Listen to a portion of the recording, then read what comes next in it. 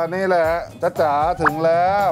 นี่ที่นี่เลยโรงเรียนตรีประชาพัฒนศึกษาที่เรานัดชุมชนเขาไว้ตรงนี้เลย โอ้ยขอบพระคุณค่ะพี่คนค่ะขอบคุณมากครับคุณตากลับมาถึงที่เลยครับผม ค่ะแล้วพอออยู่ไหนอะจ้าจ๋า นั่นน่ะดิต้องเดินไปหาอ๋อจะมาหาพอใช่ไหมคครัรับบพองั้นครับถามพี่ ผมที่โอ้โหแป๊บเดียวเดี๋ยวผมไปตามให้ได้นะเดี๋ยวพี่ไปตามพอให้ไหมครับโอเคอ่าขอบพระคุณมากครับพี่ครับขอบคุณมากครับผมตรงนี้นะคครัรับบผผมมนี่นัดพอไว้ที่นี่แหละ อ๋อมาแล้ว โอเคครับผมครับผมสวัสดีครับผม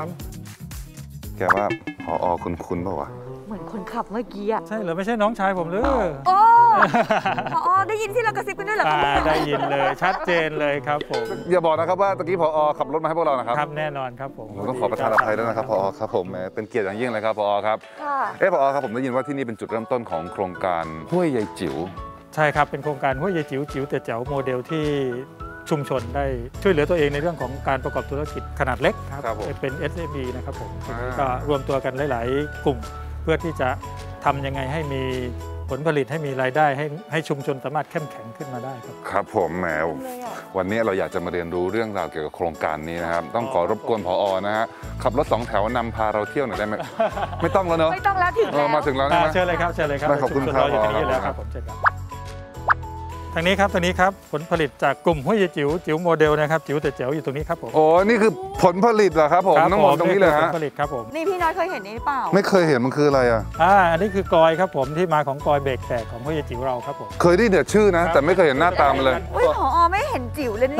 แต่ละอย่างนี้ใหญ่ๆใหญ่ๆทั้งนั้นเบิ่มๆยอะแล้วก็ดูแบบว่าสวยงามหมดเลยนะผลเป็นผลผลิตที่อินทรีย์นะครับปลอดสารพิษปลอดสารพิษที่ชุมชนของเราได้พยายาม ทำเพื่อตัวเองจะได้ไม่มีโรคภัยไข้เจ็บจากสารเคมี อันนี้ดีมากๆเลยครับ ขอถามถึงจุดเริ่มต้นของโครงการครับพอครับอ่าเป็นการรวมกลุ่มกันของชุมชนในเขตหมู่บ้านแรก ๆ ก่อนก็คือ2อสามหมู่บ้านมารวมกัน แล้วก็พยายามจะทำยังไงในช่วงที่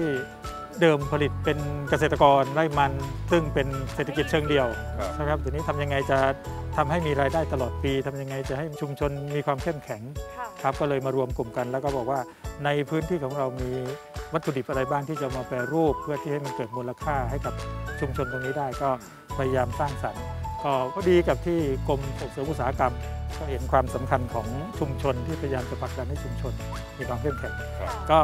ลงมาก็บรรจบกันพอดีก็เลยได้มาส่งเสริมในเรื่องเหล่านี้แล้วส่วนไหนที่กรมส่งเสริมอุตสาหกรรมมาช่วยดูแลบ้างเหรอคะอ่าในเรื่องของการผลิตครับไม่ว่าจะเป็นการนำก้อยมาทำเป็นก้อยเบรกแตกอย่างเงี้ยครับมาเพิ่มมูลค่าให้กับผลผลิตใช่ไหมครับผมโอ้คือจริงๆก็กลอยคนท้องถิ่นเนี่ยก็ปลูกกันอยู่แล้ว แต่ไม่ได้นำมาสร้างอันมูนี้ลเป็นค่าก้อยในป่านะครับฮะส่วนใหญ่เป็นก้อยในป่า ครับผมครับผมอยู่ที่อยู่ในป่าชุมชนวังคกเขาเสเลือดเรา อ๋อ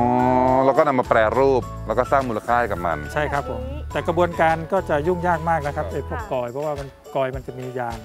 จะมีพิษค่ะ เพราะฉะนั้นเราจะต้องมีกระบวนการซึ่งก็เป็นเรื่องของกลุ่มปู่ย่าตายายที่เขาเคยทำกันมา เป็นภูมิปัญญาว่าครับงั้นผมเถเป็นอะเป็นภูมิปัญญาครับอย่างโครงการอย่างเนี้ยใช้เวลานานไหมครับกว่าจะเปลี่ยนพฤติกรรมของคนในชุมชนได้ ใช้ใช้เวลานานครับผมใช้เวลนน ประมาณกี่กว่าจะปีปรับเปลี่ยนไปเรื่อยๆ ประมาณช่วงเริ่มต้นของกลุ่มที่พากันคิดเนี่ยมา4ี่หปีมาสี่ห้าปีแล้ว แต่ว่ามาเริ่มปฏิบัติจริงๆนี่ประมาณ 2 ปีสองปีครับผมหลังจากปฏิบัติผลที่ได้รับมีอะไรผบ้างลที่ได้รับก็คือชุมชนเริ่มมีรายได้เข้ามา แล้วก็วิถีชีวิตความเป็นอยู่ของชุมชนก็เริ่มดีขึ้นครับจนถึงปัจจุบันแล้วมีกลุ่มชาวบ้านที่มาร่วมในโครงการเนี่ยเพิ่มมากขึ้นขนาดไหนครับมีเพิ่มมากขึ้นครับผมจากเดิมที่มีอยู่ประมาณกลุ่ม 2 กลุ่มทีนี้ก็ กลุ่มไหนที่เห็นรูปแบบที่เราทำงานกันก็พยายามบอกว่าเออขอเข้าร่วมกลุ่มด้วยนะ เพื่อ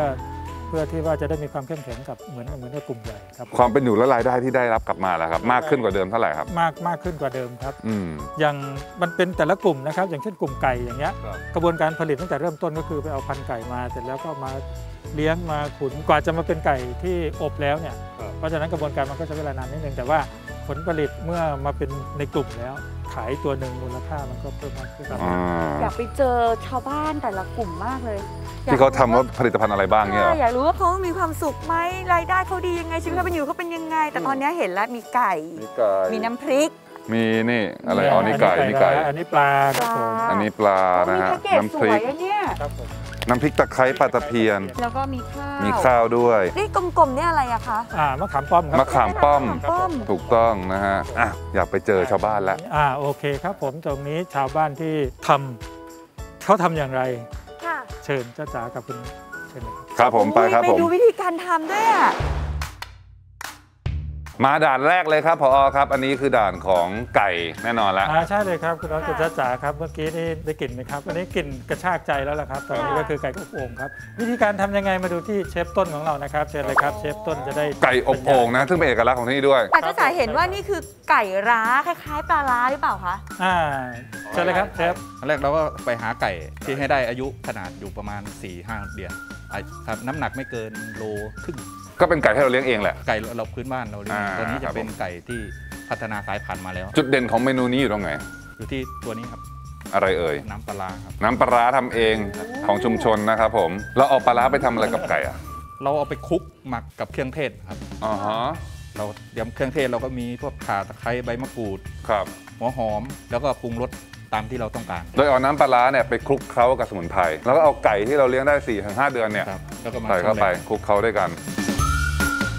โอ้ใช้เครื่องเยอะมากนะหอมอะเออจะเป็นเครื่องเทศครับ อันนี้หนึ่งตัวเราใช้เครื่องขนาดนี้เลยเหรอ ใช่ครับ โอ้เยอะมากนะเนี่ยใช้เยอะจริงเราต้องการให้มันหอมครับๆอืมอย่างนี้หมักนานไหมครับพี่ครับหมักอย่างน้อยคือ 3 ชั่วโมงครับ เพื่อให้รสชาติมันเข้าซึมเข้าไปถึงเนื้อไก่เลยนะ เอาละเนื้อไก่เอาไก่เข้ามาอืมน่ากินมากเลยนะเอาจากนั้นทำไงต่อ ใส่ถุงเหมือนเดิม ใส่ถุง อันนี้เอาไปหมัก เอาไปหมักไว้ครับ อ่า พอได้เสร็จแล้วปุ๊บเราก็เอาไปอบโอ่งตรงนั้น ข้างในเป็นเตาถ่าน ครับต่อสายใช้ไฟอ่อนใช้ครั้งแรกใช้ไฟแรงก่อนครับๆ ใช้ไฟแรงเลย ครับพอเริ่มเริ่มเกรียมแล้วแล้วก็ไฟจะเริ่มอ่อนลงแล้วก็ค่อยๆใส่อืมพอพอหนังเริ่มเหลืองได้ที่เราก็เอาน้ำมันมากระดูกแล้วอย่างนี้เราต้องอบนานกี่ชั่วโมงกว่าจะทานได้ ประมาณชั่วโมงครึ่งครับ ชั่วโมงครึ่งเท่านั้นเองครับ ไหนมีน้ำจิ้มไหมหรือว่ากินเปล่าๆรสชาติ ตัวตัวนี้ไม่ต้องมีน้ำจิ้มไม่ต้องมีน้ำจิ้มเลย ครับครับ รสชาติมันซึมเข้าเนื้อแล้วเลยครับครับต้องถามเชฟต้นเลยว่าพอเราไม่ได้เข้าโครงการทำไก่ร้าแซบนัวกับพอเนี่ยรายได้เราดีขึ้นไหมคะก็ดีขึ้นครับ เพราะว่าไก่เราก็ส่งเสริมให้ชาวบ้านเลี้ยงชาวบ้านก็มีรายได้เพิ่มขึ้นครับออเดอร์เป็นไงคะเริ่มเยอะครับ ส่วนใหญ่คนสั่งจากไหนอะอินเทอร์เน็ต Facebook สั่งเนี่ยเหรอทาง Facebook ส่งทั่วประเทศครับส่งได้หมดเลยครับโอ้นี่ก็คือซื้อกลับบ้านไปได้เลย ไม่ต้องมากินถึงชัยภูมิ ถูกต้อง เชฟต้นแล้วสูตรนี้ได้มาจากไหนอะคะ จากกรมส่งเสริมอุตสาหกรรมเข้ามา ส่งเสริมอาชีพของเรานะครับ ครับผมครับตั้งแต่ปีที่แล้วแล้วก็มีเฟสสองตัวตัวนี้คือเฟสสองอืมเฟสเฟสแรกจะเป็นไก่อบอีกเมนูหนึ่งครับเป็นข้าวอยู่ข้างในตัวอ่าฮะอันนั้นก็ขายดีใช่อันนี้พัฒนาสูตรขึ้นมาใช่ครับโดยเราเชฟเองก็ปรับปรุงช่วยกันครับช่วยกันขึ้นมาจนได้เป็นเอกลักษณ์ของที่นี่จริงๆนะไก่ร้าแซ่บนัวแต่นี่จากก็เห็นเป็นไก่เหมือนกันนะ อันนี้ไก่เหรอใช่ครับ ตัวนี้เป็นอกไก่ครับ อันนี้เอามาทำเมนูอะไรพริกผัดไก่อเนกประสงค์คือเหมาะสำหรับคนที่อยู่ตามคอนโดตามห้องเราไม่ต้องไปครับโขกพริกตำพริกทำอะไรให้มันเสียงดังนะครับค่ะเรามี หมูมีไก่เราก็สามารถไปผัดทานได้เลยครับลักษณะคล้ายๆกับพริกแกงสำเร็จนะครับอ๋ออย่างนี้ ส่วนผสมมีอะไรบ้างครับผมก็มีเนื้ออกไก่ครับเนื้ออกไก่ตัวนี้จะเป็นพริกจะมีพริกอยู่ 2 แบบ ก็มีพริกหยวก ตัวนี้พริกหยวกแห้งพี่อยู่แห้งแล้วก็พริกกินดา ตัวนี้จะเป็นอบเชย ตัวนี้จะเป็นพวกข่าตะไคร้ขิงเอามาโขกรวมโอ้กันยนี่ชอบขิงข่าตะไคร้สมุนไพรแน่อันนๆเลนี้ยก็เป็นกระเทียมครับ แล้วก็มีพริกไทยดำพแล้วริกก็ไทยดพริกเสฉวน แล้วสีดำๆนี่คือตัวน้ำนั้นตาลเป็นซีอิ๊วขาวำไอเดียนี้มาจากไหนการเอาเนื้อไก่มาผสมกับน้ำพริกเนี่ยก็ได้จากกรมส่งเสริมอุตสาหกรรมนะครับที่มาพัฒนาเมนูให้เรานะครับ อันนี้เป็นไงขายกระปุกเท่าไหร่นะตัวนี้ก็ปลูกละ149ร้อยสี่สิบเก้าบาท ขายมากี่ปีแล้วครับอันนี้ ตัวนี้ก็ขายมาเกือบปีแล้วครับ เกือบปีแล้วชีวิตความเป็นอยู่ดีขึ้นไหมจากการที่เอาผลิตภัณฑ์ท้องถิ่นเนี่ยมาเพิ่มมูลค่า คนคนในกลุ่มก็มีรายได้เพิ่มขึ้นกันทุกคนนะครับ แล้วก็เราจะรับออเดอร์ให้เด็กนักเรียนเป็นคนรับออเดอร์เข้ามา แล้วเราก็มาช่วยกันผลิต ครับแล้วก็ส่งอ่าอุดมไปด้วยของคาวและเต็มที่แล้วมื้อนี้อิ่มแน่นอน แต่ว่ามันต้องตบท้ายด้วยของหวานครับพอครับ มีเมนูอ๋อของหครับวานผบ้างมไหมครับแน่นอนที่สุดครับ กินของคาวเสร็จแล้วก็ต้องไปต่อด้วยของหวานครับเชิญในฐานต่อไปนะครับผมจะมีโอเคงั้นเดี๋ยวพี่ทำเสร็จเดี๋ยวผมมากินนะพี่นะขอบคุณครับ มีอะไรที่หวานกว่าจ้าจ๋าอีกเหรอ